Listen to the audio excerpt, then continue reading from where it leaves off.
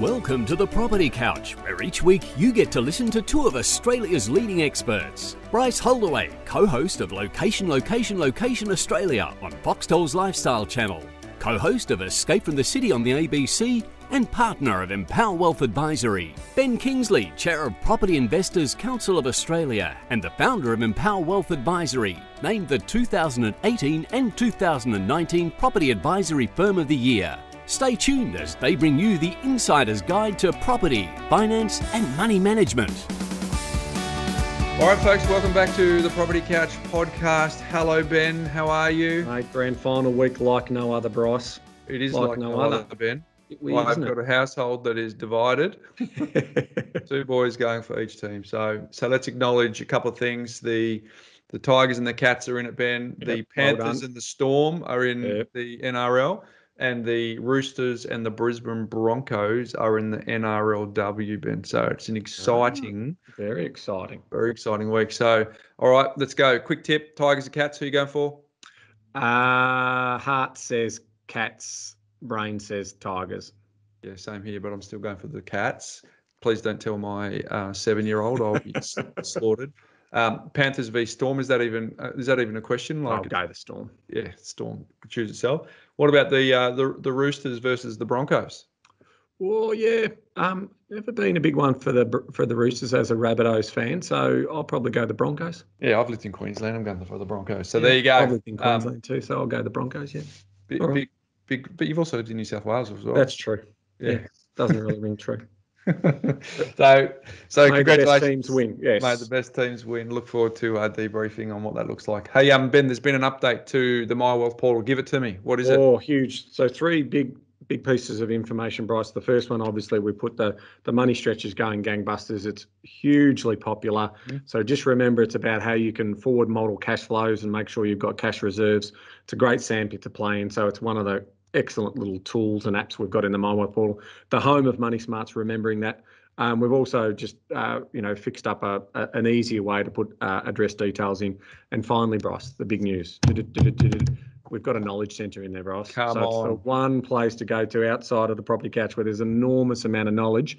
But all the tutorials in terms of running money smarts, we've got all the links to the podcast, we've got all our videos, we've even got links to our free content, we've got links to the different services that we have. So it's just just a central home now called the Knowledge Centre that's brand new inside the My Wealth portal where you can go to get further educated. So it's a it's a nice little researched application component of the So you've platform. curated and put everything to one spot, Yep. Ben. So Beautiful. have we got a special discount for Property Couch listeners on how they can get access to that knowledge centre, Ben? It's free, Bryce. Oh, okay, it's free. All right. It's free. Uh, Pretty good discount. Sign up to the My Wealth portal, which is the Money Smart system. It's really simple.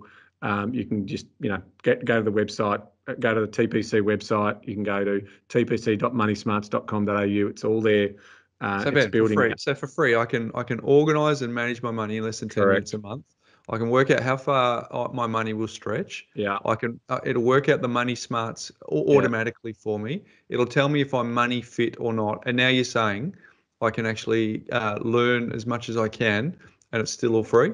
curated knowledge centre there, Bryce. Also links to our DIY apps in there as well, such as suburb growth, location score, DSR data, sell or hold. It's all there. All right, folks. If you are not a member of the My Wealth Portal community, uh, you should. Is probably the tip here, Ben. If money is simple and behaviour is hard, it's going to help you correct some of your behaviour. It is. in ten minutes a month. So the the URL again, Ben. Uh, tpc.moneysmarts.com.au, Bryce. You register for free. or thepropertycouch.com.au forward Yeah, slash and- or if you- fees. Or if you want the book that, that backs up the instruction manual, it's makemoneysimpleagain.com.au. All right, real I simple. like it.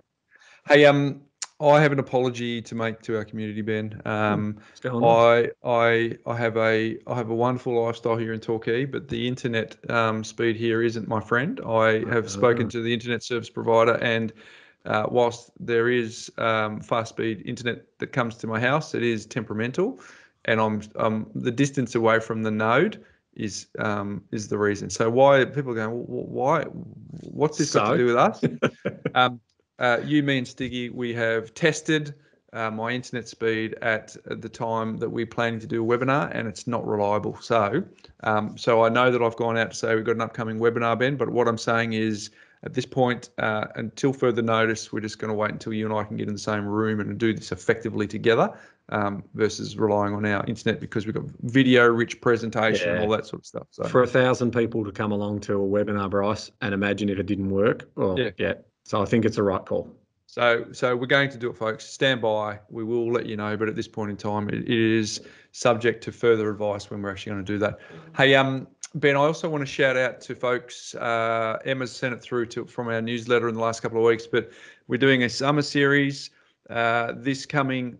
Well, surprise, surprise, this coming summer, Ben, um, where we're going to showcase stories of people who have had transformation, and so folks, if you're feeling like uh, you have a story to, to share, please, please, please reach out to us. I promise you, if you feel nervous about coming onto the podcast, we will absolutely look out for you and make sure that you feel comfortable and secure. So we don't want the best speakers, Ben. We don't want people who feel really, really confident. We just want people. Well, actually, I'll, I'll rephrase that. It doesn't matter if you're not the best speaker. It doesn't matter if you're not that confident, No. because it's about your story and we will we will work with you to share it. And if you think your story is not worth sharing, I promise you it probably is. Um, so can you please reach out to us and go to thepropertycouch.com.au forward slash my story. Um, it is by far and away one of the most favourite times of the year for us, Ben, because we get to sit there and just riff it with people who have done really great stuff by following um, very simple principles. So if that's you, please, please, please reach out to us because we would love to hear from you. And my last thing for housekeeping today, Ben, is uh, a couple of episodes ago we had a bunch of speak pipes all in a row where people Yep. came and asked their questions. Um, I so want to encourage people to do that as well. If you go to thepropertycouch.com.au, there's a little widget on the right hand side. It's yellow. You press the widget. This is how simple, Ben. Once you put the URL in, you press the widget. You can do this on your mobile. You can do it on your desktop. You can do it on your iPad, wherever you are. And all it'll do is it'll take you to a link where you just have to press a button, Ben, and speak straight into your question. And then I will get notified of your question. And then we will um, queue it up for a future episode. They are Awesome. they are fun. We love hearing from people. Uh, it makes it different from hearing our voices all the time. So please, folks, if you have a question about money, about finance, about money management, about property, which asset to buy, uh, should you be buying in this current environment? You're a millennial and you've got a specific question about being a millennial. You're a baby boomer and you've got a specific question about being a baby boomer. Please, please, please go and do a speak pipe so that we can feature you in an upcoming episode. So there you go. Hey, my mindset minute today, Ben, is a continuation, obviously, of this wonderful, wonderful book, How to Win Friends and Influence People. It's up to part three, How to Win People to Your Way of Thinking. Chapter 13 is a, it's called, Ben, a drop of honey. Mm. Right. How's that Do for a tell. Do tell. Drop, drop of honey. So if your temper is aroused and you tell them a thing or two, you will have a fine time unloading your feelings. But what about the other person? Will he or she share your pleasure? Will your belligerent tones, your hostile attitude make it easy for them to agree with you? Hmm, that's a good start. Lincoln said, It is an old and true maxim that a drop of honey catches more flies than a gallon of gall. So, with men, if you would win a man to your cause, first convince him that you are his sincere friend. Therein is a drop of honey that catches his heart, which, which say what you will, is the great high road to his reason. The sun can make you take off your coat more quickly than the wind. Oh, I like that one. That sort of Mm, paints a picture, doesn't it? that's, That's terrific. And kindliness, the friendly approach, and appreciation can make people change their minds more readily than all the bluster and storming in the world, Ben. So here it is. Remember what Lincoln said a drop of honey catches more flies than a gallon of gall. So, principle 13 is very, very simply begin in a friendly way. Love it, Bryce. Nice. Very, very nice. So, folks, hopefully this is uh, just a little nuggets for you to start the week, but obviously, obviously over an accumulation of time, um, you can start to see that uh, why I think, Ben, my my humble opinion, I'm only one uh, uh, an opinion of one, is that I think it's the greatest personal development book that exists, and I um, am thoroughly enjoying going through it, and I hope everyone's getting benefit from it. All right, Ben, we've got a very special guest lined up today for our episode, and it's a really important topic um, that we want to discuss because, in a scenario or an environment that we currently find ourselves in, we understand that finance places pressure on relationships, doesn't it? It does, Bryce. I mean, we, we have seen some some stats and research coming out around divorce as being spiking on the Google search platform, and also the separation guide, which is uh, an information tool for people who are looking to potentially separate or divorce, had a huge spike. Uh, they reporting an 85% spike in people looking for marriage counsellors or psychologists. So it it really is an important topic, Bryce. I mean, you know, there's there's two things in life, Bryce. What are they? What What are the two things in life? Oh, I love a good quiz from you. Is it uh, deaths and taxes, mate? Mate, hundred percent correct. Thank but when you. it comes to couples and arguments, there's two, possibly a third. What are they, Bryce? Mate, how how about a little word beforehand, mate? Is it, I don't know. Is it, uh, is it? I've got kids. Has it got something to do with parenting? All right. So parenting is the one. If you've got, so we argue about parenting, but the other one, Bryce, sex and money. Oh, Right. So we argue about sex and money, just like we know that they are they are just part of our the challenges of of obviously uh, navigating life as a couple and in a relationship. So this is probably the perfect segue to Mm. introduce our special guest. So Ben, um, the the path that we want to go down is clearly uh, a, for the majority of the chat is around finances. It's a conversation we had a little earlier, and we'll cut to that shortly. But I just wanted to sort of flag up front that uh, clearly there's a number of a, a different range of ways that you can describe relationships. But uh, Yeah, so what we want to do, Bryce, is we just want to acknowledge that relationships come in all shapes and forms and sizes, right? So we just want to acknowledge that because during the during the the interview that we had with Jo, there's obviously a lot of chat around traditional, um, stereotypical conversations, but we we just wanted to recognise before we start the conversation that yeah that that we wanted to be inclusive, and when we talk about partners, we aren't necessarily talking about the the traditional man and woman. Yeah, so the principles that we that we discuss uh, apply equally uh, to all relationships. So let's cut to the interview with Jo right now. Ben, uh, we today are chatting with uh, Jo Wilson. She's the author of Renovate Your Relationship and is a relationship expert and neuropsychotherapist with a passion for helping people unlock the secrets to having healthy and loving relationships. Welcome to the Property Couch, Jo. Thanks for having me, guys. What an honor. Yeah, no, we're, we're excited to talk to you about this because I think it's um, there is a, a whole lot of stuff that we can dive into, but it's a very very important topic. So we're keen to to unpack your insights. But I wanted to set it up uh, with this: the traditional wedding vows include a promise to be together for richer for poorer, uh, but many couples find the for po- the, the for poorer part uh, just too bloody hard. So uh, in fact. Ben's mentioned this before, but financial stress is the number one cause of relationship breakdown, according to Relationships Australia research team. That's for all couples, not just those who are married. So you're at the coalface of this, Jo. You'd be seeing this all the time. Um, but before we go there, we want to find out a little bit about you. Uh, you're an you're an expert in relationships, but you weren't always that case. There was a point where you started off in your professional life. So I want we want to find out a little bit about you, how how you became who you are, but also uh, any insights you can give us um, with respect to your money story. Well, I did grow up in the land of the crows in South Australia. And uh, yeah, it came. My, I personally came from a very standard family in the burbs, very hardworking family. Um, and what they did instill was very much not just that work ethic, but uh, a huge volunteering type of um, value system in my family. So it was very much of giving your time and services for free and your money. So um, which I now know that actually makes you quite happy. Um, that actually lights up your brain as far as neuroscience tells us that when we give of ourselves and altruism is actually a really good thing, but that's not going to help your wealth creation as well. So you've got to be quite smart with that. So Jo, you're you're one of five kids, um, and there's a big gap between you're you're the last of five, um, a 13 year gap. So so that in itself is obviously you know sort of uh, makes the the house dynamic and the home dynamic and and money conversations quite interesting. What what were some of the observations around how money in your household was managed and and what sort of little things did your parents do that you've got as takeaways um, that you can share with our community? I uh, grew up in a family where it was it was quite open that I was a huge mistake. so imagine um, three big brothers making sure that I was very much aware that I wasn't wanted, and mum and dad were actually ready to start traveling because my my sister was 13 when I was born, and they, you know, my eldest brother had even left home. So the great thing was though that they were older parents so dad was 42 when i was born but what that meant is that they probably had a little bit more wisdom about world creation and they were actually encouraging me to when i first got my full time job back in Australian Airlines, I didn't even know what this meant, but they're like, you need to add to your super because the government has a matching scheme. I was just like, oh, whatever, okay.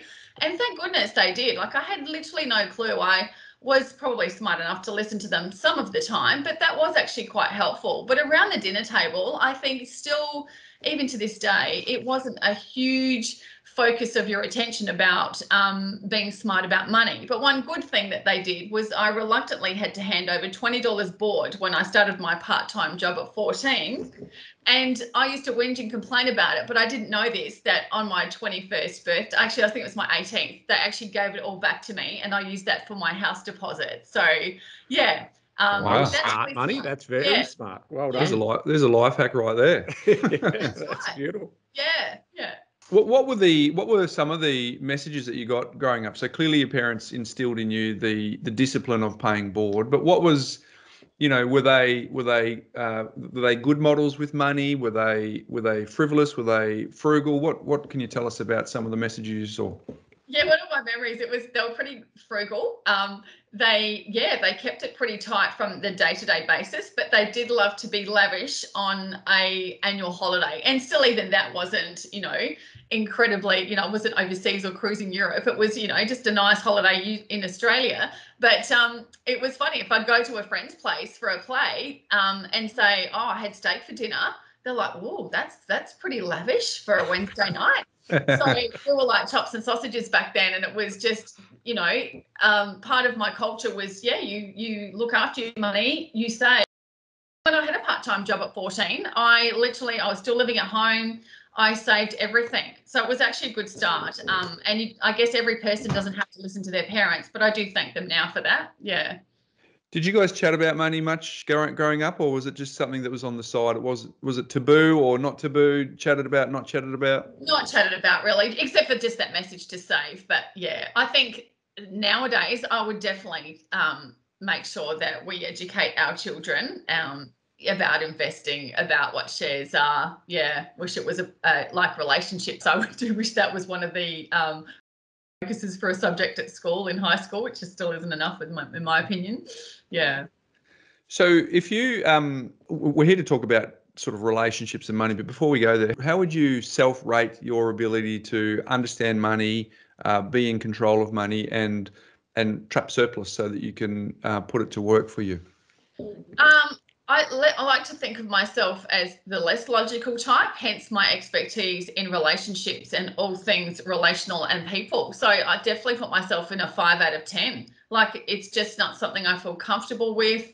Um, a lot of that in this traditional household that I live in is often left to my husband. Yeah. Mm-hmm.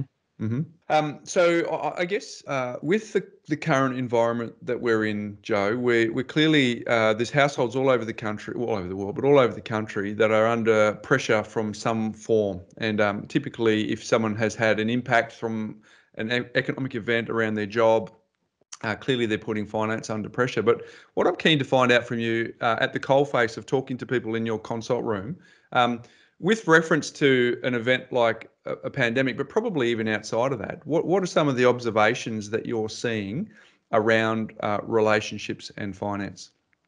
Yeah, so what I'm seeing, uh, there's a huge trend. I find it unbelievable that people are many of them in the couples that I was either working with before, they've kind of really been reaching out to me. I haven't seen them for four years or five or six years, and they've been really keen to catch up again because they're on the verge of a nervous breakdown. And what I'm seeing is there's this what I call a stack. And so they've got those issues that might have been rumbling in their relationship already. They've got um, concerns. Maybe one of them have lost has lost their job. But the huge theme I see is this: how much we as a race thrive on certainty and hope. And what a pandemic has done is remove that from us that we don't know what's going on all the time. Yes, it's improving, but back, you know, March, April, May, it really elevated our stress response. So we're all running on high cortisol levels, and it's not actually good with regard to your behavior. And we become agitated, and that manifests in our relationships. We all respond to stress is quite different. You might become apathetic or withdrawn.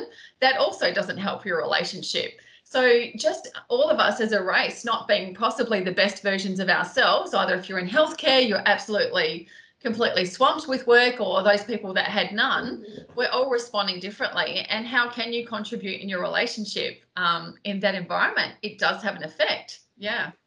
So, how do you? What's what's the advice that you're giving people who are chasing that? That's you know, with with respect to money in particular. Uh, quite often people can outsource their sense of importance and significance to their job or the toys that they've got or how much money they earn.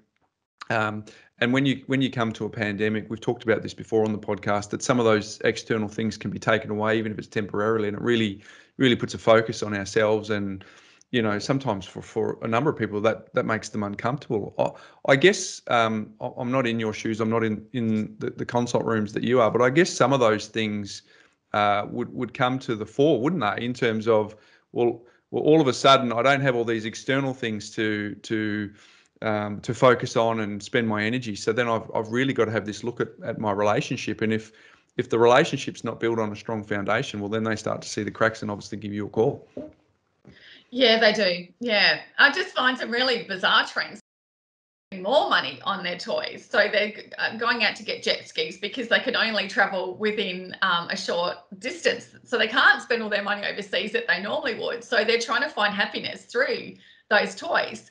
Um, and then you've got the people that are frozen in fear that don't know exactly what to do. And so they're just sort of really battening down the hatches and they're not having that freedom to enjoy the, the just the simple things in life. So it's just such a varied response depending on your situation.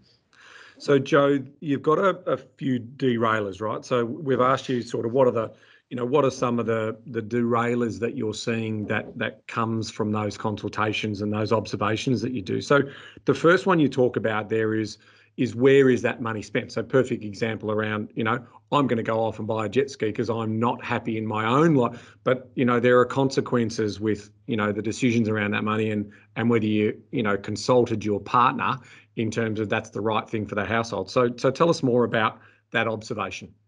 Yeah, so money values, um, whether you're in a pandemic or whether you're not, it's it's a huge part um, of a relationship that you do have one that's quite high risk even in investments um, and one who's not. And there's definitely situations where i've had couples that have just presented rock bottom because one of them has invested in a business didn't consult the other and the other one is now completely d- stressed, worried about where they're heading. And it, was more about the communication. So a lot of these derailers are all going to get back to my three corrosive C's, which I'll talk about. You've got these symptoms, um, such as infidelity. You've got the symptoms of financial distress, but underneath that, there's usually a reason why. So definitely definitely money values. And i have even a little worksheet on this that we um, that we go through because it is such an important part. Money comes up in most sessions. And so if you and your relationship can get that sorted at the start um, it's really really helpful. Yeah. Let's let's go through some of the lists that you've got there. Yeah. you, know yeah. your top top five derailers. The first one you talk about is a lack of transparency and deceit. Can you can we unpack that a bit more yeah, I find that really fascinating. I'm amazed at how many times um, when particularly blokes, I'm not going to pin it all on you, but the ones I tend to th- to see is that I think that guys, in a good way, they thrive on respect and the ego that they derive from um, the work that they're using their talents and bringing in money. It doesn't mean that women don't work, and sometimes we can be the higher income earners, but guys really thrive on that. But then what happens is they'll often become quite deceitful out of shame and guilt. And so when things aren't going well, they hide it from their partner. And so they've borrowed money and they've not told their wife, or they've set up a, a whole heap of separate accounts. Some have got loans, and it, the trust is absolutely eroded because she didn't know about it. So that's just a very stereotypical example. But then deceit also, you know, about what you're spending money on is that often women I find use hide they hide savings so that they can invest it in cosmetic surgery or bo- like Botox as an example, and they don't tell the other one. So being deceitful, deceitful is yeah a huge part of my work with with couples. Jo, it sounds pretty straightforward, right? Don't don't be deceitful seems to be the answer. You know, crystal clear communication. But how how if someone if someone's listening to this and they can relate to either of those traditional views or or a permutation of something that's that's totally different from that, but but they can relate to to that hoarding or or shame.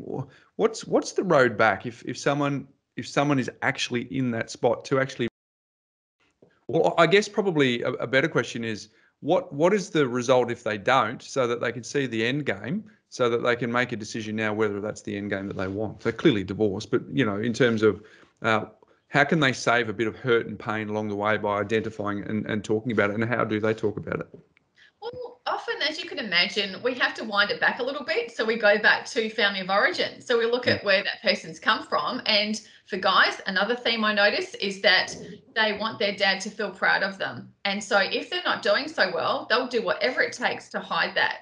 And so it's really drilling back to where often that um, pride um, is coming from and why you feel guilty and ashamed if you've made mistakes. And it's just about realizing we're all in this together, whether it's a financial mistake or whether there's infidelity. Um, it's that real acceptance in the counseling room that it's okay to be ashamed. It's okay to have these feelings, but just unveiling them. And what to do next, obviously, is to have that courage to be transparent. It's so important to be brave enough um, to come through and work through it together. And usually there's a lot of reasons why that person is behaving that way. Um, and it's normal. So, yeah.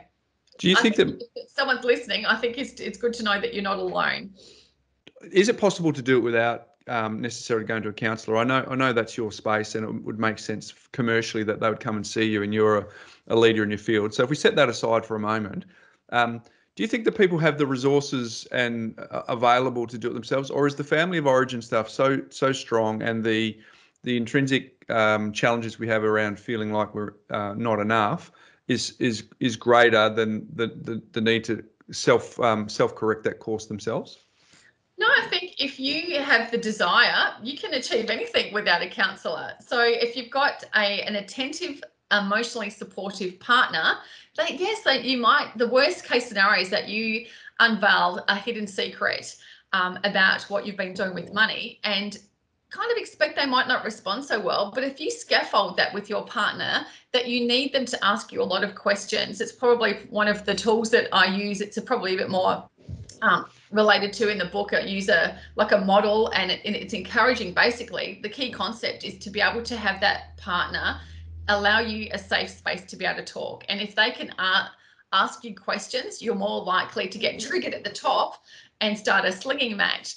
But when it comes to the family of origin, you know, I think it's just recognizing it. If you've got um, a, a, father who spent all his money on gambling, it's about recognizing I don't want to be like my dad and I want to take a different path. I am going to educate myself. You guys have got all the tools and strategies there. I am going to go and um, speak to somebody about getting myself out of bankruptcy or whatever it is that you've got yourself into, I find particularly guys are very logical. They'll say, okay, it was black and now it's going to be white. Women might, I'm being stereotypical here, we might need a bit more time to talk through it, but guys will often make a decision and go, okay, I've realized that this was a real pattern of history um, through generations, and I'm going to draw the line in the sand here. And so, yeah, absolutely. If you can do that on your own just by making a decision, um, definitely search forward and um, yeah, draw the line in the sand and impact generations moving forward. I mean, every every opportunity starts with a step, doesn't it? Right, taking that first leap of faith, right? And you know, there's also comments about failing forward, learning from those mistakes in terms of what you've done. Now, Jo, obviously in our business, uh, we do talk about money. That's all we do in terms of sitting down with clients and so forth. And we've got a lot of observations of this sort of yin yang type scenario, right? Where one person in the relationship's a spender and one person in the relationship's a saver. Now, I'm generalizing, of course, um, but they, they, they tend to connect to each other and find comfort in that. And they, They Hang don't. Are you suggesting that it's the females that are the spenders? Is that the message I'm hearing? No, definitely not. Definitely not. okay, just checking. But what I what I am saying is that that the, the shared beliefs and feelings around money. If if we ask a question as simple as you know you know what is money there for you to do, we get differing responses from the two people sitting in the room, right? Yeah. And so so just starting with that as dialogue and having a conversation around that can break down um, basically beliefs and feelings around money. And when you do that and have that correspondence, you get breakthroughs in terms of alignment around the goals and so forth. Now, so so the question for you is, you know, we're coming to you for counselling, um, and we think it's a money problem, right? We we absolutely think, oh, this is all, you know, we just argue about money all the time. But there's obviously other things going on there, isn't there? Because we haven't had those other conversations. Yeah, yeah. And I think some of those conversations, like we touched on before, is your family of origin. Where are your money values coming from? Are there expectations from your mum or your dad to be something that you don't want to be or to have a certain amount? Um, another huge theme is um, jealousy from your parents that you are almost um, not able to be successful because your parents have got this bizarre, um, poverish, in like type of mindset that's actually holding you back. That if you're successful, you, some of my couples don't even want to tell their parents. But I think it's symptomatic when you're talking to these people. I think what you'd probably unveil is that their communication style. If you can get that right from the start, if a couple is new to a relationship, the best thing you can do is talk to people like you or just have that conversation between them about um, do we do we seek a certain amount of money just for happiness? Do we like lots of toys? Are we into volunteering and spending our money giving it away? Um, what is it that are our key core values to our culture? Because that's exciting. Every new couple gets to be their own culture. You can enjoy the parts of your legacy from behind, but really having being on that same plane of having a really open communication style right from the start. Because when you get that right, the world's your oyster. And, and that's key... your second point there, isn't it? In terms of your, you know, the, the other derailer there is money values. We've talked about the high risk, the low risk in terms of people doing things without consolidating or talking to their partner and and that's also part of that sort of money values conversation that you want to have yeah absolutely um, th- it's just so much about safety as well like money uh, has a different um, when it comes to being safe and i noticed that you know, I talked about blokes really thriving on the respect from what they do, but women really thrive on nurture. Um, I think that's an inherent thing that we just love nurture. And so when we feel safe um, from our partner protecting us in that way, it's kind of very traditional, but I think it's innate in us that when our partner's transparent, when we know that we feel safe and secure, even if we have separate bank accounts, it's a it's a seems to be such a great head start for couples.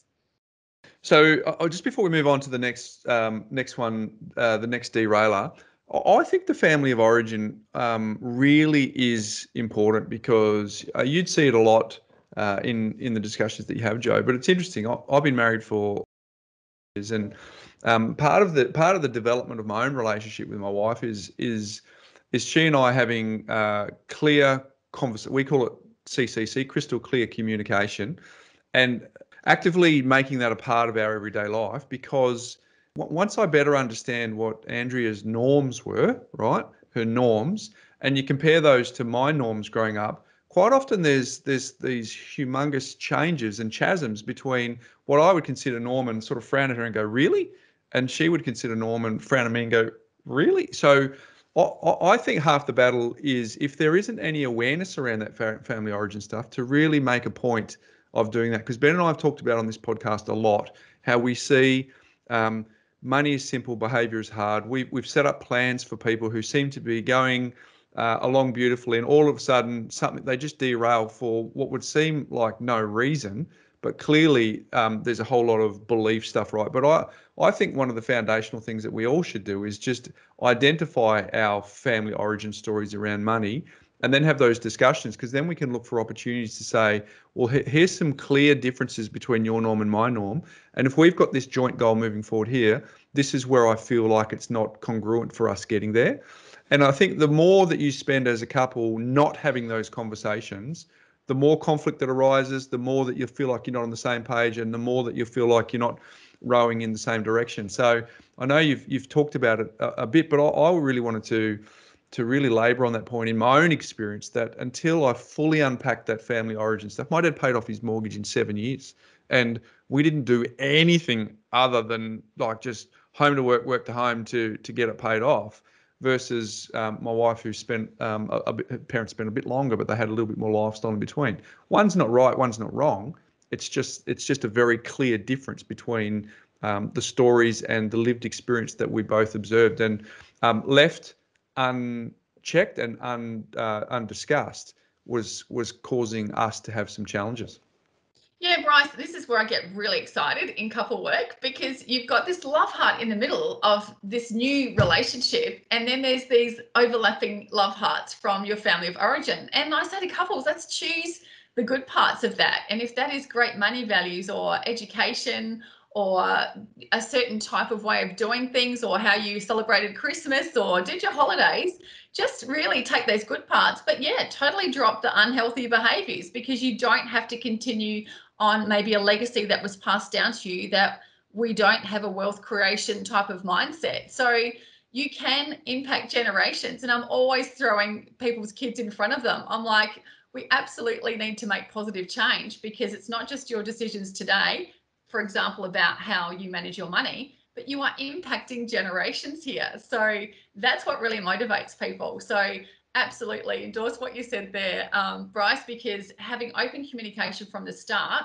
and just like I mentioned before, having a, an attentive listening ear to ask you questions when there's a huge chasm between your differences. But I always say you could have grown up in the same street, same street, Lygon Street or whatever, and have vastly different cultures than if you were in Saudi Arabia and Tasmania. Like there's no difference. The fact that you come from a different family means that you are different values often. Yeah, absolutely. So you said the top five derailers. The first one was the lack of transparency and deceit. Second one, which you touched on before, was around the money uh, values, uh, low risk, high risk. Um, can can you explain the third one, safety, in terms of um, the, the, what happens if people want to keep their money separate? Uh, have you seen scenarios? Because we've had people on our podcast where they combine finances. We had people where they don't combine finances, and both systems are working. But are you are you observing anything around um, from your POV with uh, relationship distress around the difference between keeping it separate um, in that safety sort of derailer that you're that you're highlighting? Well, the same, as yeah. As I, in my position, it's not my job to say whether one works and what doesn't. It's literally whatever you the couple finds works. But I talk more in terms of safety. So what what works for you? So particularly in second marriages, for example, he's got three children. They're adults. He likes to give his grandchildren um, expensive gifts. And she might only have one child and she might be still working and she likes to spend her money on tithing in the church. And it's about recognizing where they want to spend their money. And so for that couple keeping their separate bank accounts actually works. But when it's safety and one is a high income earner and they're not sharing that's a completely different story. So mm. that gets around more about the you know the intrinsic value of of um, that person and and how they share. So yeah, it gets a bit deeper than that. But yeah, there's no right or wrong from where I sit. Yeah, this definitely no right most... or wrong. It was more it was more around if you'd seen any themes or patterns or observations uh, when they get to your uh, office more than because I agree we've we've we've had we've had success cases of people who are doing it in both ways. So it was more about um, if there was any insights there. Sorry, I ben. think one of the derailers, Bryce, is that the the lack of transparency, and the other one is judgment. I think you'll find a lot of people um, separate their finances for a couple of reasons there. One is, you know, they don't necessarily want to be judged on what they want to spend their money on. Um, now, you know, I've publicly said this on the podcast many a time that combining your finances and full transparency on that will organise your money better, make it easier for you to do, and make your money work harder for you. Now, that's a choice about if you want to, you know, obviously have more money. Uh, if your choice is you don't care and you know money's not that important to you, you're not necessarily going to focus on that. But it does come to you know that important point, and it's a perfect segue into the the fourth point there, Jo, which is about control. Um, so talk to us about uh, about control. Yeah, this one gets a little bit serious. So, as you can imagine, um, abuse does feature in the counselling room, and that takes all form and includes financial abuse. Um, so, if you do have a situation like it can be even the female who's controlling the money, um, and she, along with the um, erosion of the relationship, he ends up feeling so low. His lack of self worth is, you know, minimal that he can't even leave because he has no idea how many bank accounts they've got. She's got complete control over it.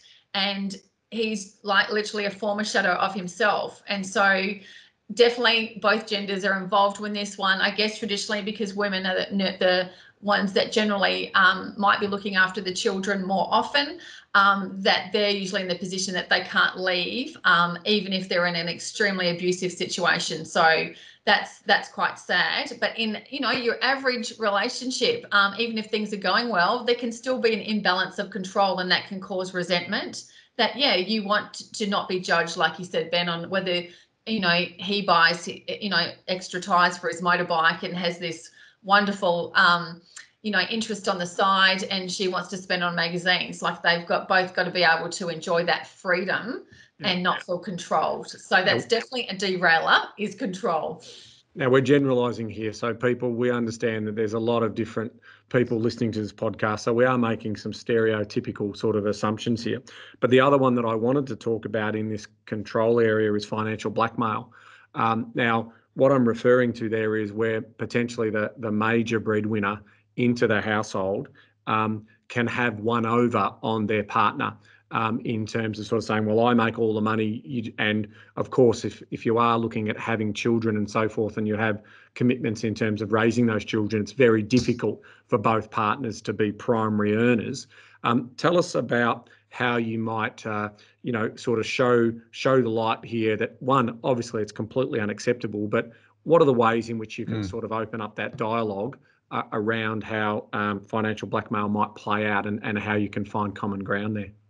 It gets back to yeah, the three C's. Um, the crushing confidence is one that completely can um, have one person. If if they're not working, you'll find okay. Typical, very stereotypical example is that you have a child.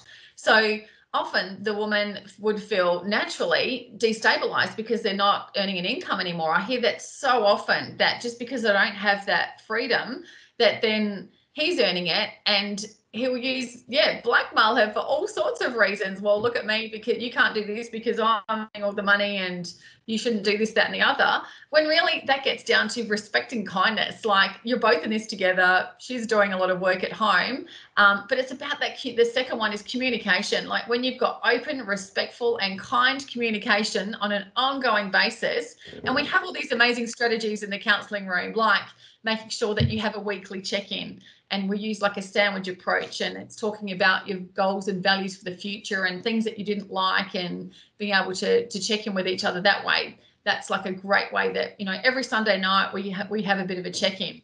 And finances should definitely be on that list. Um, yeah so that's like an example of where blackmail comes into that you know inequality when mm. um, one is a higher income earner. Um, you talk about uh, the the fifth one being the wrong person doing the finances, Jo. Um, tell us a bit more about that. I find that quite amusing. That you know you've got an accountant. Um, you're both doing. You're both working. One's a graphic designer and he's an accountant. But the graphic designer is doing the money at home. She hates it. She's mismanaging it and they've got no idea what's going on. I just find that quite funny. Like it seems obvious that the accountant should be doing the finances, or, but yeah, it's just making sure that whoever is um, doing the financial load, yes, it should be equal, but the day to day stuff should be the person who's interested in it. So, I mean, I'll, I'll be quite um, open on that one. When we first got married, I really don't enjoy maths. I love everything else about the arts. I love everything about writing. I'm an author, relationships, but I was doing the, the money. Did not work.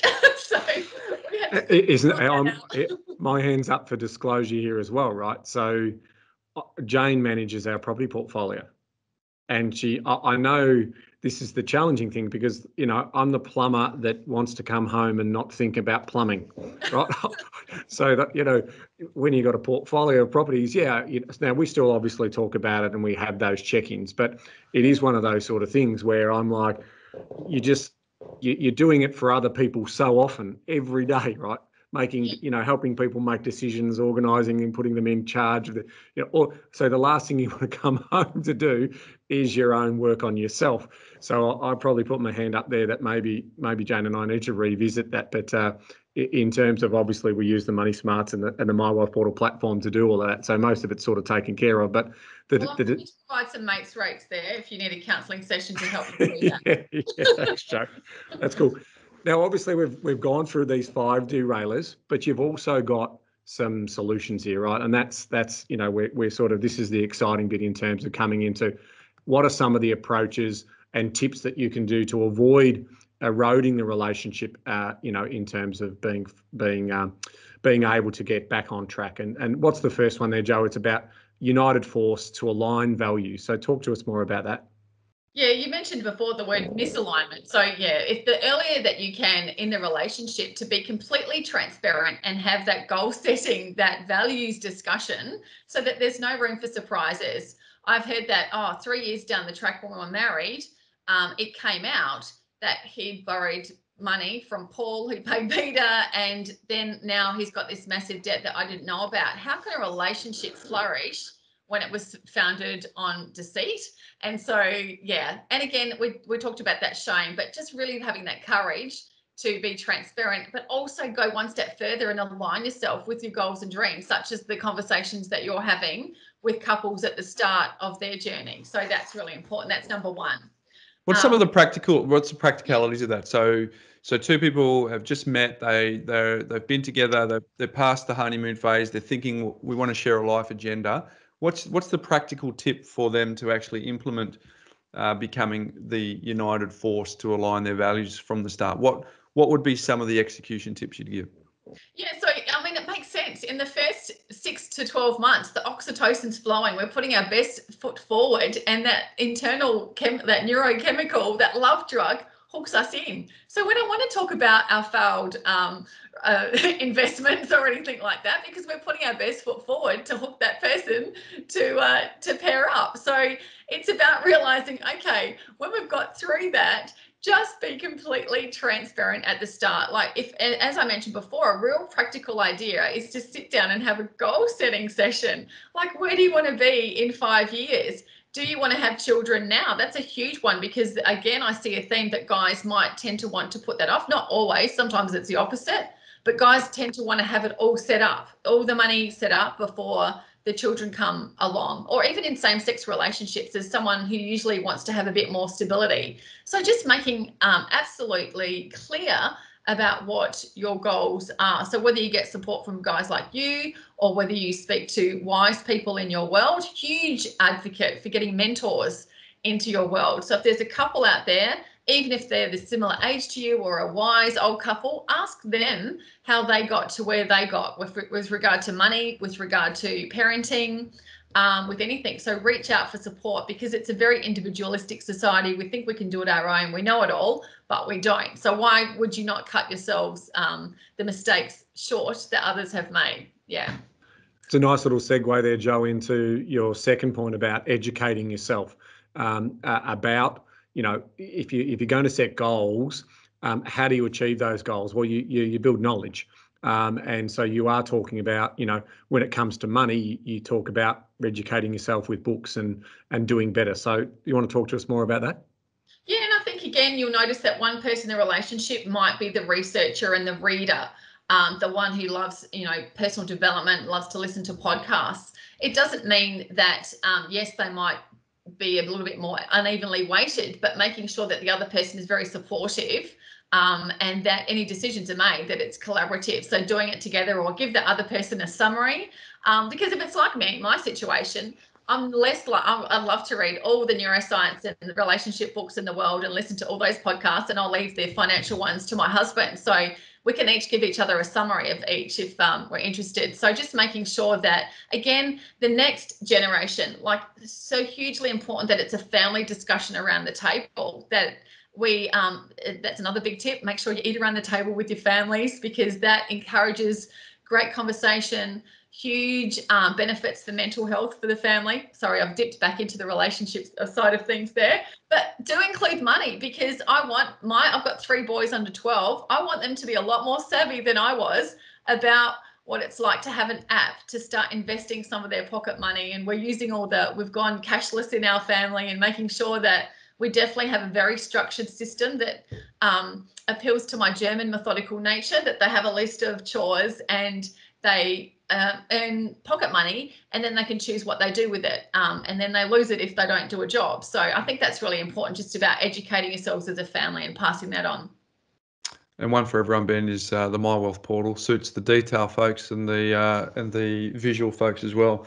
Hey your third one uh, third tip uh, jo is avoid being a financial victim of your family's legacy um, again, we've talked about that at the front, but have you got any sort of practical tips on how people can actually uh, apply this? Yeah, I think just be aware of the comfort of your discomfort of your brain will naturally default into what is normal, what we've always done, what your family did. It is so much easier to be stuck in poor habits. So if your family legacy is one that they were very they spent money on ridiculous things, they never had a lot of money, they they just lived from day to day, it's common that you might think that's the only way to go. So just being aware, make that decision today. If that's not the future that you want for you and any possible children that you might have, or if you're single, if that's not what you want, step out of that mindset and either get the support, surround yourself with inspiring people who are financially savvy and make that decision. And baby steps. It can just be that one step to download an app, to go and make one phone call to speak to an expert. So just, yeah, step out of that. You don't have to be captive to the past. Mm-hmm. That's great advice, Jo. I mean, obviously, that's you know why we put this podcast together each week around property finance and money management because it is our driving purpose for those people who who are aspiring, who want to change their situation. Um, you know, this is not a podcast for the rich and famous. This is a podcast for everyday Australians, and and this is the cause and what drives Bryce and I to make sure that they can uh, they can transform their lives financially. Um, you've mentioned a couple of times uh, during today's show that you wanted to talk about the three C's. Well, we're here. Um, so this is this is obviously coming back to the foundations of relationships. So I think it's it's really important that we spend a bit of time in talking about these three corrosive C's and what are they and and how do we how do we best overcome them. Yeah, and this is again such an important part. Like the, I see the symptoms of relationships, and that's infidelity.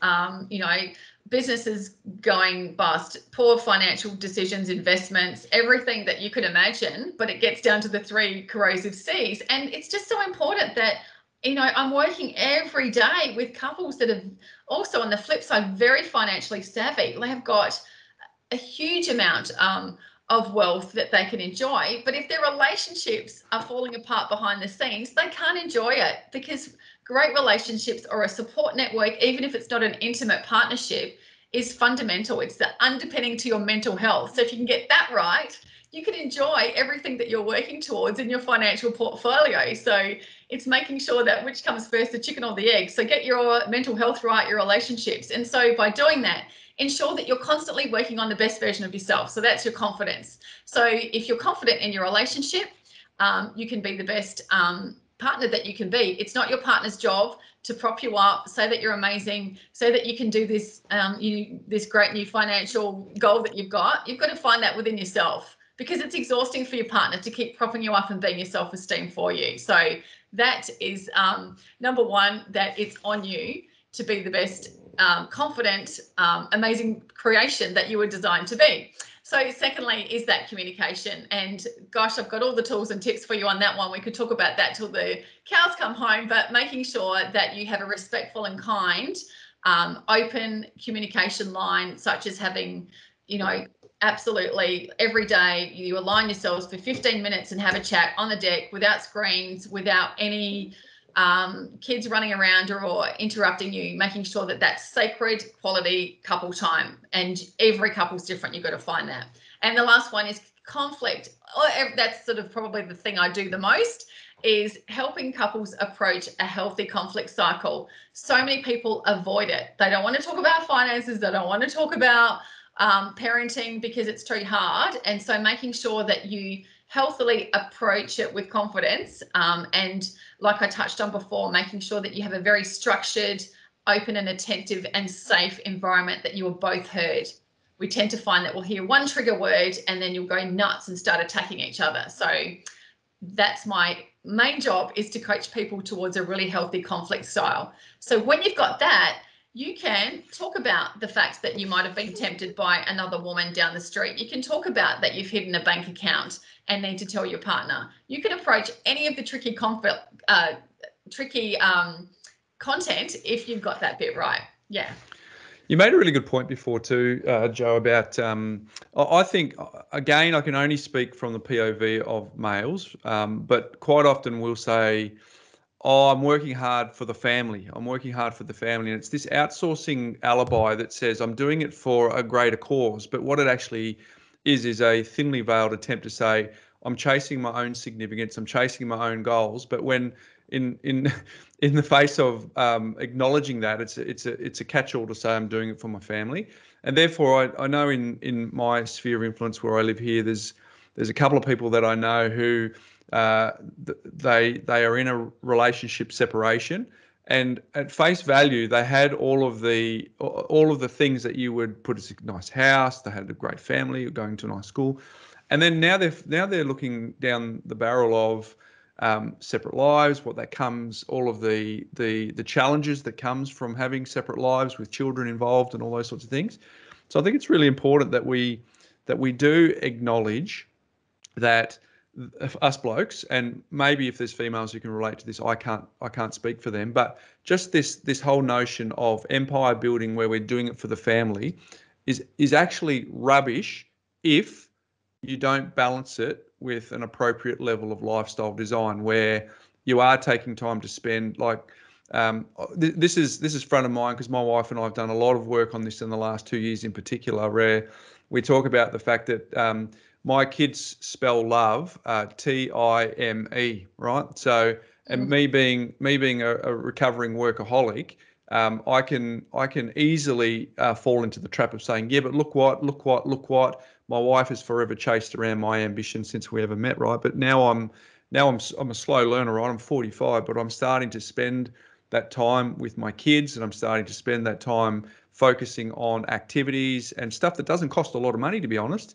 But it it, it I'm able to um, have the currency in TIME, right? So I just wanted to on on the point of what you were saying before. If some if some people can relate to that, that if if out of balance, I'm doing it for my family is is just a false myth. It's rubbish, and it'll set you up for for failure. Because another thing that um, my wife and coached by a friend of mine um, was I'm very traditional, right? Um, my profile is very traditional. I sometimes get in trouble on this podcast because I'm very traditional. So so for me, when you're married um, my traditional view is that is it, f- for better or for worse, right? And that's the vows that you take. But the reality is that if if divorce is not an option, therefore we are in the illusion of no choice, right? So my wife and I, in the last two years, have now said actually divorce is an option. You got to treat me like the prize, and I've got to treat you like the prize. And if we don't do that, this is not a, a, a lifetime thing. This there there is there is an escape clause here, right? And from that, it's actually got us to both step up. And it's actually got me to step up to say, well, there's more to life than me just working all the time. So the reason I brought that up is because it's it's pertinent to me. But I think there's a lot of guys who might be able to relate to that. That that uh, again, at the, at the risk of overstating again, the fallacy around I'm doing this for my family is is a myth um, if it's if it's not appropriately balanced. Yeah, well said uh, applause for you, Bryce. It is such a massive theme that, just in short, I hear the woman stereotypically, I'm so lonely at home. All I want is my husband to be around. I get so excited when I see him being with the children. And he says, Everything I do is for you and the kids, but he's missing at work, MIA.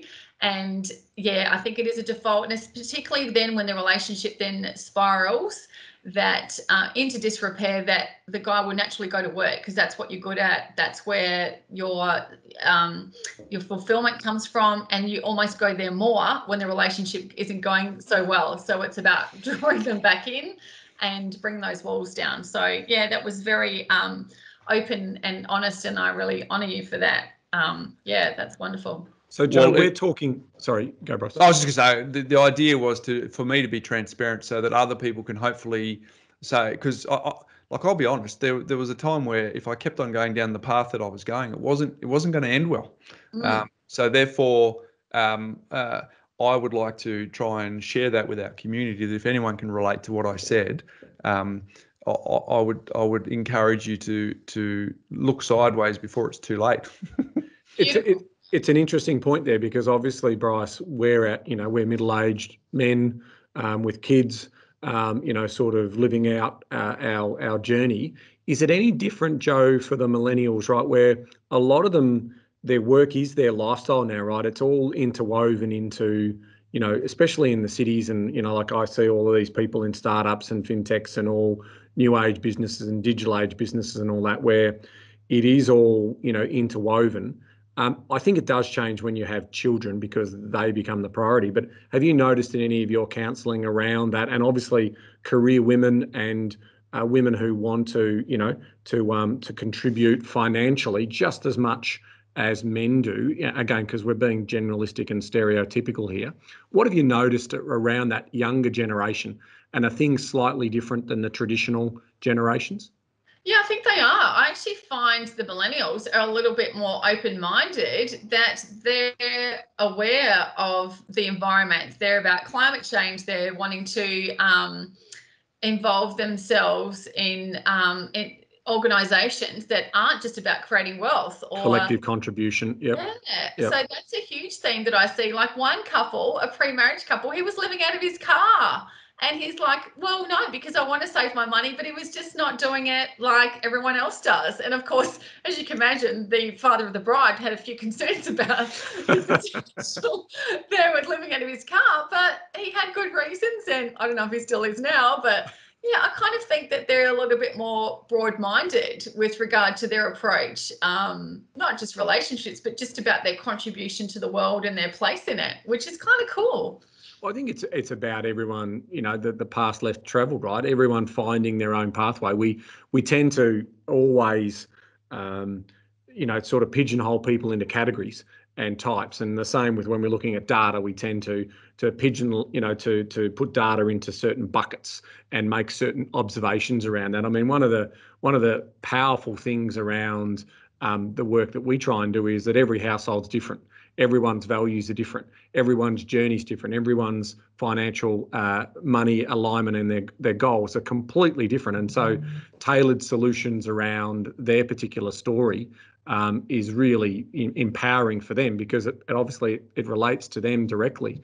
And i think we are going to see more of that sort of deep personalization around uh, how people are going to basically take their own path and, and find their own norm. And through good open transparent communication, um, and you know, as you were saying before, those three C's: confidence, uh, making sure that you you know you sort of put that piece together, uh, good communication and conflict skills.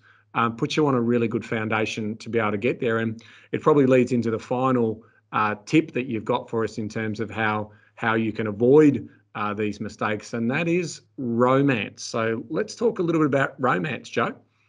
Oh, my favourite topic. the girl. but no, on that on that point though, I think it, the relationship load when it comes to romance these days, I think it should be equal. So if I'm trying to, you know, get a bit of spice back into relationships, I do ask that couples do um, share the relationship load and they alternate planning dates, organising small activities. But when it comes to finances, um, you know, so many of the couples I work with have small children. It's either not an option to go out for expensive candlelit dinners or they don't have the finances because they're at that stage that they're wanting to set up that foundation for themselves and their family. So it's literally don't think that you have to spend a lot of money um, to integrate ongoing romance into your relationship. And that could be a rug on the floor and take away. Kids love that, even if they're included, but making sure that you get that time apart. You could be a coffee, it could be just sitting on your own deck with a glass of wine is a date to me. As long as there's no screens and there's no distractions, that counts to me as one-on-one time. And I do think it's lovely, like inject some excitement into the relationship. You can get so caught up into the day-to-day that it's you know, my turn to organise it next week. So I'm planning go karting. Next week it's my husband's, um, and then he's going to plan, yeah, the rug on the floor, and the kids are being babysat. So whatever it is, just make sure that you do alternate it, but it doesn't have to be expensive. And it's the day to day gestures. It doesn't cost anything to leave a note for your partner that reminds them of what they meant to you, particularly when they first met, or thanking them for something. That costs nothing. So make sure that you invest in the day-to-day gestures of love that then your foundation has launched. So everything that you work for in your financial portfolio you can enjoy for the long term. And like bryce said you know having that time together is so important as you're doing it well said. We uh, we certainly need to pick up our socks on that department, uh, Ben. But I think the important part there is that it doesn't need to cost a lot of money. Yeah. Um, that it's that it's about the connection, the time. Um, my, I know that you're familiar with the um, the five love languages, Jo. So my wife is quality time. So and I'm words of affirmation. So that's that's interesting around that. But um, because I always give her what what I want, and she always gives me what she wants, right? So the whole concept. You naturally so always give out yours. So you're constantly probably telling her that you love her, and she's like, just spend time with me. Yeah, just just hang out, hold my hand. So, but I'm getting better at that. Just like I said, I'm I'm a bit I'm a bit of a slow learner, but I'm getting better at it. So. Um, well, let's let's recap a couple of those things, right? So you said the top five money derailers uh, that you see in the counselling room is one lack of transparency and deceit. Two is uh, mismatch of money values. Three is the safety around uh, separation or not of money. Control is the fourth, and number five is putting the right person on the right seat in the bus. The the, the person who's most appropriate um, for doing the finances should consider doing them as a skill set. And then your top five tips to avoid uh, money eroding the relationship. Number one is be a united force to align your values. Number two was to educate yourself uh, with wealth creation books. Number three was avoid being effectively the family tree stuff, the victim of your financial legacy, your family's legacy. Number four was around those four C's and realize that that topics around money affect that. And number five was romance does not uh, require copious amounts of money. We covered a fair bit of ground there, Jo. And you, I'm biased, sorry. but hey, the, the most important topic of your whole podcast series is getting this foundation stuff right. yeah, agree. We always say money is simple. Uh, money is simple. Behavior is hard. And so what we've been talking about today is some of that behavior management stuff and better understanding what it is that's derailing us, because the mechanics of money are incredibly simple, Jo. There is no rocket science. It is primary school level understanding to get money right, but it's actually just the um, peeling back the layers and understanding how we work as a relationship between others, and more importantly, how we work uh, uh, with the relationship with ourselves. Because the the better relationship we have with ourselves, the better we'll bring um, to the partnership we have. Yeah, to, to change behaviors and new habits, I really encourage people to make them visual, make them in your face. If you're going to take a baby step today about changing how you approach money or your relationship, make sure that you put that commitment or your strategies up in neon lights around the toilet, uh, toilet door, in, the, in your wardrobe, all over your house, so that you're constantly reminded of your new habits that you're working towards. Yeah, very good. Well, uh, I think we've all benefited from your insights today, Jo. We certainly appreciate you spending some time on the property couch with us um, and sharing some stuff that I think is not only an amazing life skill in general, um, but in a in an environment that we find ourselves in now, I think it's really really important that we have strategies and tactics that we can use to um to apply to to to our own relationship. So thank you for for joining us. Yes, that's why we call you the relationship rejuvenator, Jo. Um, it's been a privilege. Uh, I've known you for over 20 years. Um, you and Ben and uh, loved every bit of time we spend together when you're coming down here to Melbourne for a, for a, a weekend of culture, as we call it, and then when we're coming up to uh, Queensland for an escape to the sun. So uh, it's been a privilege to um, to obviously be your friend and, and to see you do all this great work that you do. So thanks for coming on to the Property Couch and also um, more details around your book, um, which is Renovate Your Relationship. Um, so all of the DIY tools you'll need to get the most out of your most important projects. So uh, we'll have all those details in the show notes as well. So thanks, Jo. Love you, and thanks for coming on. Thanks for having me. All right, Ben. So um, I think there's some wonderful insights there from someone who's clearly at the coalface of dealing with couples, but uh, in particular uh, around how finances have a, an impact on relationships. Yeah, and obviously, again, knowing Jo for as long as I have, I just thought it was a good time, you know, especially with all of the challenges around COVID and ISO and, and relationships and and money stresses. I think it's it's a nice time to just be having that conversation and see that there are some uh, tips and and things to look at and uh, and and pieces to go to work on to be able to get your relationship in order first, then the money uh, comes into that. So uh, hopefully, uh, hopefully people got some takeaways from that. Yeah, folks. Hopefully, I agree with Ben. Our mission is to equip you with as much information as you can, um, so that you can really transform your own financial future and hopefully get rid of some of these derailers. If you could relate to one, two, or even five of them, um, hopefully there were some tips and some practical strategies there for you to overcome them. Hey, um, my life hack today, Ben, is along these lines. Um, uh, I shared some insights when we were chatting with Jo around how uh, my relationship with my own wife is transforming and a lot. So I wanted to share um, some of the uh, the ways, the the practical tips and strategies that we use. So as you know, uh, Jamin is a good friend of mine. He was I was clearly a client of his at some stage. So with his coaching, we've developed some relationship rules, Ben, um, to help us uh, increase communication, but obviously um, increase the fruit of our relationship. So I'm going to quickly riff them off um, so that people can see a the practice of what and b whether or not might have some takeaways that they can nice. relate to themselves. But it's kind of just this this foundational framework of us if you know like in our own business we've got our six values and so every decision we, we filter through them it's kind of kind of a similar approach but the system is really simple so they're 10 right so number one uh, rule is we back down when we're wrong and we stand up when we're right. Um, number two, we apologise effectively, and there's four steps to an effective apology. So if if we are wrong, we know how to apologise for that. Number three, uh, this is really important. We're really clear about what we want. Um, so so be clear about what you want is number three. Number four, know who's playing lead and who's playing support. Um, so we can't make what it was like in the past. We're very clear in this particular project, on this particular task, on this particular area of responsibility, um, whatever it is, we we know who's playing lead and who's playing support. Number five, um, this is really important for both of us. Take full responsibility for your own problems and projects. All right. So mm. if you have, if you are clear about who's playing lead, if you're lead in that project, you are then responsible. There's no there's no uh, deviating from that. Number six, this is really important. I find this easy to do. Um, but number six is credit where credit is due. Um, there's no assumptions here. There's no taking for granted. Um, I love highlighting the things that often get missed. Um, so we do that. Number seven is be the prize. I'll look after me for you and you look after you for me so that we're not actually trying to be two halves coming together as a one. We're mm-hmm. two whole individuals. Number eight is is is a subsection of that. It's be excellent and always do your best. Number nine is honor rapport with yourself as a priority. So that's obviously about building yourself so that you can turn up at your best and be the prize. And number 10, Ben, is complaining is madness. Um, so we've been coached through those and um, to make sure that they're actually meaningful for us. Uh, you, you remember Jo said to put these up. What I've done is it's actually, you know, I love a good mind map, Ben.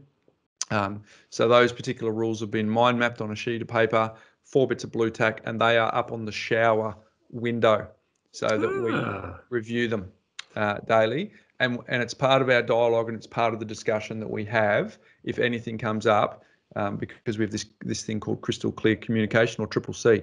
So it actually helps us with that so that we can actually um, tackle conflict um, easily more, um, but also having these foundational rules. So I thought Very I'd share helpful. In the context of what we're doing today, um, but also in the context of the fruit.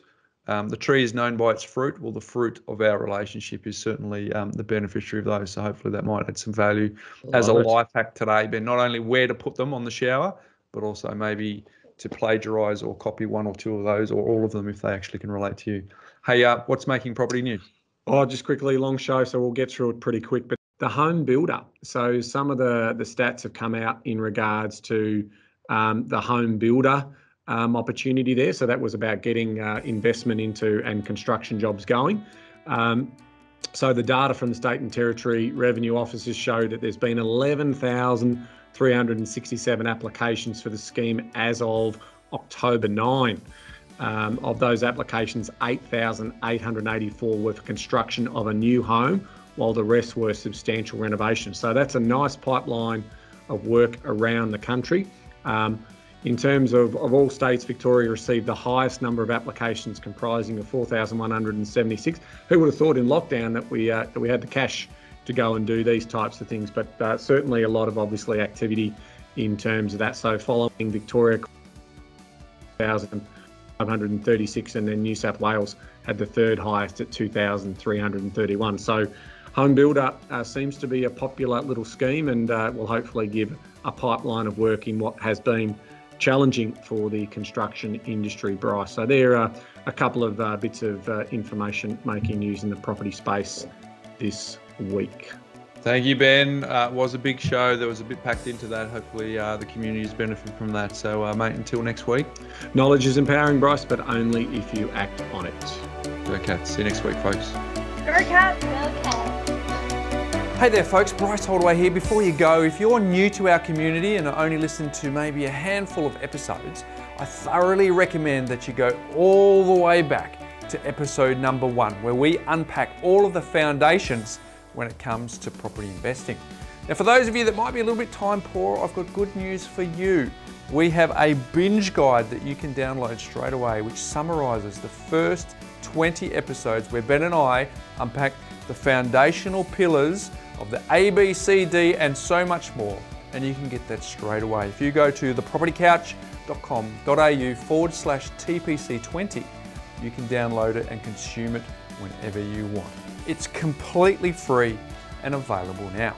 And for those of you, just a quick reminder that nothing we've spoken about today constitutes financial advice. We recommend that you reach out to your licensed professional advisor so that you can look at your unique circumstances before acting on any information. Now don't forget, go to thepropertycouch.com.au forward slash TPC20 and get your binge guide today.